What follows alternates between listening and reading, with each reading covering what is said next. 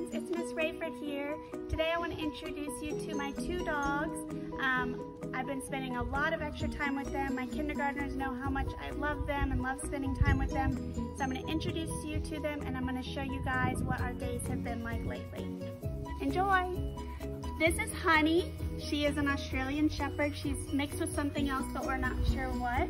Um, and she is going to be one this month. And this is Fred.